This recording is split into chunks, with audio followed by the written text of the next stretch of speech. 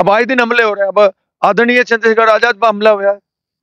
अब हम तो पूछना चाहते हैं इस सरकार से, क्यों ना अब तक, क्यों ना वे अपराधी पकड़े गए? और अपराधी पकड़े पकड़े जा और उनके घर पर बुलडोजर क्यों नहीं चल रहा? चंद्रशेखर आज़ाद जी पर जो हमला हुआ है, इसके लिए हमारे विधायक वहाँ कल भी गए थे और आज मैं और हमारे विधानमंडल दल के वहाँ नेता जा रहे हैं। और यदि सरकार कुछ नहीं करेगी तो बड़ा कदम आदरणीय चौधरी जयंत सिंह जी उठाएँगे। और इस बात का पटापेक्ष हो, सरकार को करना पड़ेगा। नमस्कार, मैं हूँ कुलदीप सिंह और आप देख रहे हैं हेडलाइंस उत्तर प्रदेश। आज़ाद समाज पार्टी के चीफ और भीम आर्मी के चीफ चंद्रशेखर आज़ाद पर कल जानलेवा हमला हुआ। बाल बाल बचे, गोली पेट से गुजरते हुए गई एक आध इंच इधर उधर होती तो शायद बड़ी घटना हो सकती थी। उन, उन्हीं को लेकर बातचीत करेंगे। शामली से विधायक प्रसन्न चौधरी जी हमारे साथ इनसे बातचीत करेंगे। सर, कल हमला हुआ।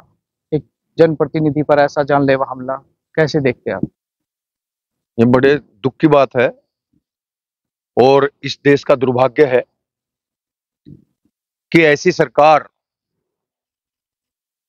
काबिज है, जिसका सोतेला व्यवहार है और जिसकी कथनी और करनी में फ़र्क है।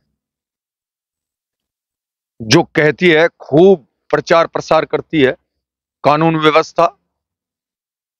और आए दिन, उत्तर प्रदेश में आए दिन ऐसी घटनाएँ हो रही हैं और इससे बड़ा कोई घटना हो नहीं सकती कि एक जनप्रतिनिधि पे हमला हो रहा है तो आम जनता कैसे सुरक्षित हो पाएगी? मैं चार पाँच महीने से देख रहा हूँ, उमेश पाल की हत्या हुई और दो पुलिस वालों की भी हत्या हुई। इससे बड़ी घटना और उत्तर प्रदेश में क्या होगी? उसके बाद ऐसे एक मुजरिम को जो सुप्रीम कोर्ट की कस्टडी में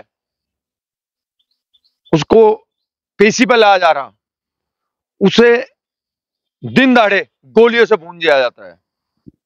और जबकि आपका साफ़ कहना है जिस तरीके से दावे किए जा रहे हैं कानून व्यवस्था के चाहे वो अतीक का हो कि वो भी को कस्टडी पुलिस कस्टडी में थे चाहे संजीव जीवा का हो वो भी पुलिस कस्टडी में थे ऐसी हत्याओं को आप देख रहे हैं तो कहीं ना कहीं सरकार के दावे खोखले साबित हो रहे हैं। और जबकि पुलिस मुख दर्शक बनी रही।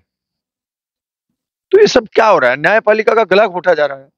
अभी भाई जो क्रिमिनल है ठीक है वो क्रिमिनल है उसे सजा दो। कोर्ट सजा देगा लेकिन ये मतलब थोड़ा ही है कि वो पुलिस की कस्टडी में उसे कोई और मार के भाग रहा है। फिर पुलिस क्या करेगी? फिर कोर्ट क्या करेगा? फैसले ले लो अपने आप। अब आए दिन हमले हो रहे हैं। अब आदरणीय चंद्रशेखर आज़ाद पर हमला हुआ है। अब हम तो पूछना चाहते हैं इस सरकार से, क्यों ना अब तक, क्यों ना वे अपराधी पकड़े गए? और अपराधी पकड़े पकड़े जा और उनके घर पर बुलडोजर क्यों नहीं चल रहा? चलना चाहिए। उनके घर पर बुलडोजर चलना चाहिए, उनको पकड़े जाने चाहिए। तो अब इस देखा जाएगा अब देखेंगे, ये सरकार क्या फैसला लेती है और कितनी कार्रवाई करती है। और यहाँ के जो पुलिस प्रशासन है, वो क्या कार्रवाई करता है? कितनी तेज़ी से कार्रवाई करता है? और ये बड़ा गलत घटना हुई है।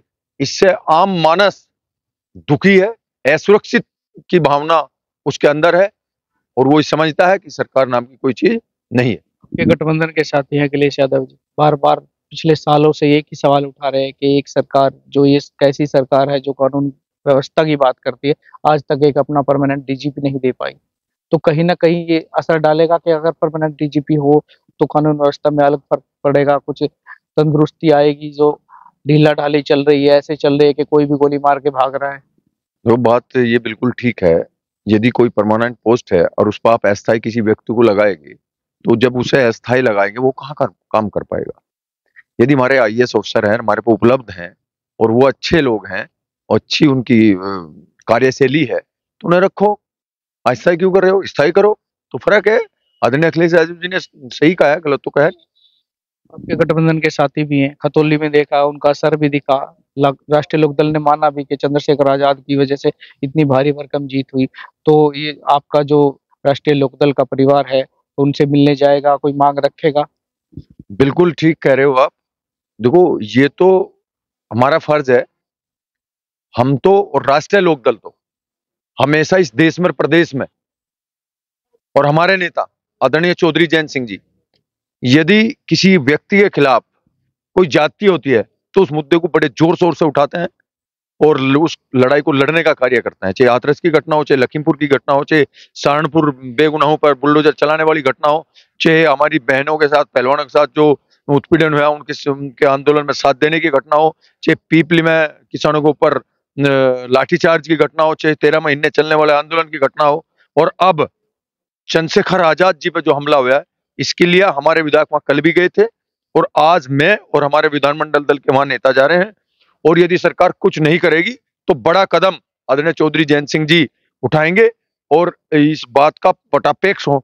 सरकार को करना पड़ेगा, प्रशासन को करना पड़ेगा कि भाई आदरणीय चंद्रशेखर आज़ाद पर हमला क्यों हुआ है और जो हमला जिसने किया है, उसकी गिरफ्तारी बहुत जल्दी इस सरकार को करनी पड़ेगी और यदि यह सरकार गिरफ्तारी नहीं करेगी तो ये एक आंदोलन का रूप लेगा क्योंकि जनता अपने आप को असुरक्षित महसूस कर रही, जब हमारे जनप्रतिनिधि सुरक्षित नहीं है तो कोई भी सुरक्षित नहीं हो सकता। और ये बहुत बड़ी घटना है और हम इसकी बहुत निंदा करते हैं और ये बहुत दुर्भाग्य की बात है कि आदरणीय चंद्रशेखर आज़ाद जी पर हमला हुआ तो विधायक जी थे शामली से जिनका साफ़ तौर पर कर रहे हैं, जो बुलडोजर का हवाला दिया जाता है अपराधियों पर, रोज आए दिन कहीं ना कहीं घरों पर बुलडोजर चलाया जाता है तो जो अपराधी थे, जो हुड़दंगी आए थे गाड़ी में सवार होकर के और चंद्रशेखर आज़ाद जी पे जिन पर गोलीबारी की, हमला किया, क्या उनके घरों पर भी बुलडोजर चलेगा? और वो अब तक 24 घंटे होने वाले हैं, अब तक पकड़े क्यों नहीं गए? ये भी बड़ा सवाल है। तो आप भी जुड़े रहे हेडलाइंस उत्तर प्रदेश के साथ, मैं कुलदीप सिंह शामली